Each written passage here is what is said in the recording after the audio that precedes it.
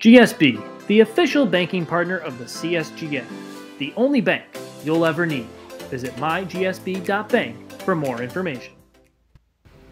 After the semifinals of the 55th Borck Junior Tournament wrapped up this morning at Brooklawn Country Club, four players advanced to the finals, where the two winners, Luke Stennett and Junxi Guo, remained in the lead through the entirety of their matches. In the boys' competition, Rhett Dupont faced off against Luke Stennett, who started out strong after parring one and birdieing two. As he continued making birdies and pars, he finished hole 7 with a 6 up lead. As Stennett is racking in the points hole after hole, he has a great approach shot on 11, right near the hole.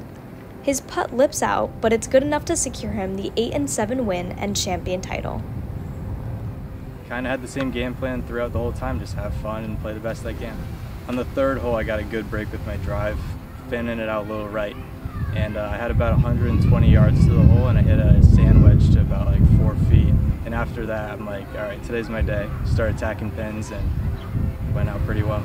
I think my driver was on most of the tournament, and I think that really set me up well for success in the tournament. I also didn't really play towards pins, which I think was a, a really good strategy with these greens, and I was just able to two putt and sometimes one putt and get the get the job done. In the girls' competition, Paige McKenna made Junxi Guo fight hard for her win. Guo was up two after birdieing hole three.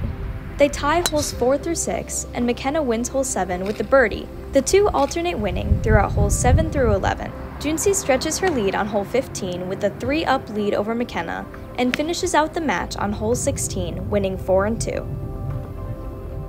Uh, it means a lot because this is my first win ever since coming to Connecticut.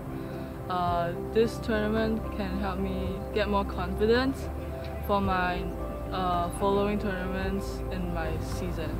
After hole 12, like I just I just bounced back from my previous um, mistakes, and I just kept gain, gaining some momentum that allowed me to win on my final hole.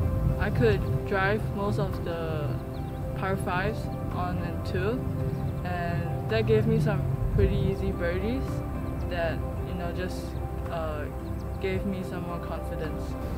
Uh, my coach Gary always told me to win, but the win stands for what's important now.